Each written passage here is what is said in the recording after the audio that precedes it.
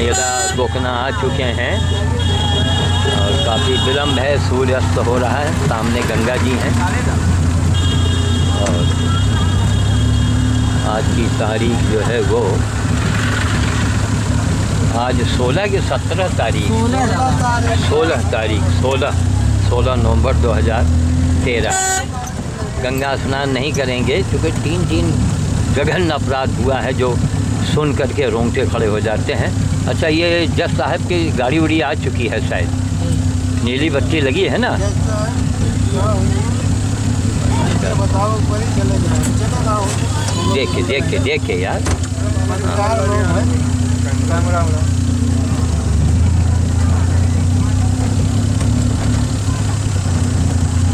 चलो रख।